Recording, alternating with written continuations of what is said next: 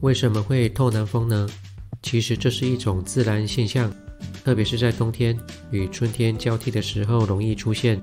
当酷寒的冬天转变为舒适的春天时，室外空气温度突然上升，充满湿气，再加上从海上的南风或西南风吹到室内，遇到室内温度较低的地面或墙壁，水汽就会凝结成小水珠。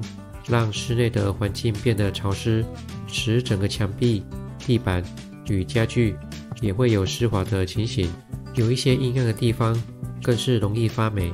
这种状况称之为反潮现象，容易出现在瓷砖、漆面等光滑的材质表面。这就像是玻璃杯装着冰水，一段时间后，表面就会凝结成水珠。另外，还有之前影片提到的室内门窗。与车上玻璃起雾都是相同的道理，而家中最怕水的电器，有时候要运转，让水汽排出。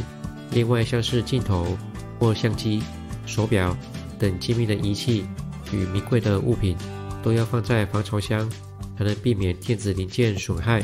那么，要如何应对透南风造成的室内潮湿呢？这里有一些方法可以供各位朋友作为参考。第一，我们可以关上朝南和东南方向的窗户，减少潮湿的空气吹入室内。如果不知道家中的方位，可以利用指南针来辨别。在接近中午的时候，可以打开北边的窗户通风，减少室内外的温差。第二，打开暖气或空调，让室内的温度上升，也有相同的效果。第三，我觉得最快的是使用除湿机去除室内的湿气。不过要关上门窗，产生密闭的空间，还最有效果。